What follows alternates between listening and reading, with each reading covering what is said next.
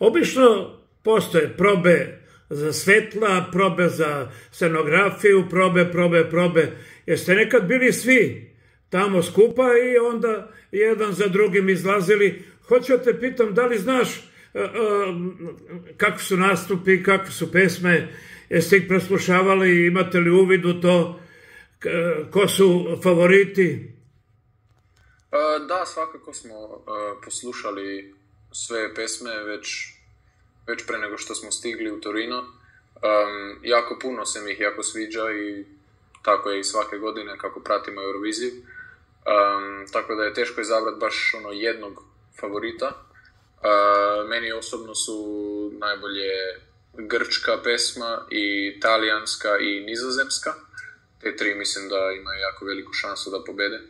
Ali um, da, inače nismo baš bili svi uh, na jednom skupa tamo, uh, jer imaju vežbe, uh, znači samo oni koji su u prvom polufinalu, pa onda drugi dan oni koji su u drugom polufinalu, pa onda imaju jedan dan još onih pet zemalja, um, onih velikih pet, znači Španjolska, Njemačka, Engleska i tako dalje, Italija i Francuska. Um, I um, da, za sada imamo samo takve vežbe da idu u stvari jedan za drugim po, po tom uh, redosledu uh, koji je za polufinala, a posle imamo, mislim da u nedelju i ponedeljak imamo baš ono generalke gdje ćemo proći uh, ceo show.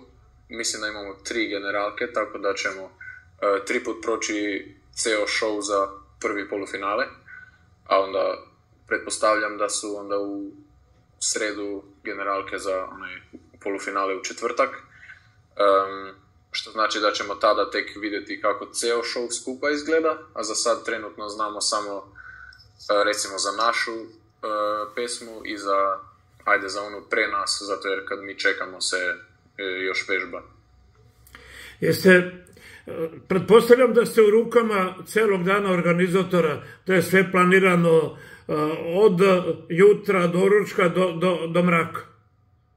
Eh, pa da, imamo eh, dosta na, na dane i kad nemamo vežbe imamo puno medijskih obaveza, treba je odraditi intervjue i tako, tako mislim da i treba.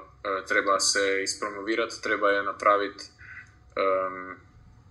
nešto da, da ljudi znaju gdje si, šta si E, šta radiš i um, svakako je to potrebno. Uh, tako da da, imamo uh, puno isplanirano uh, sve od početka dana do kraja i ono malo koje imamo vremena za sebe.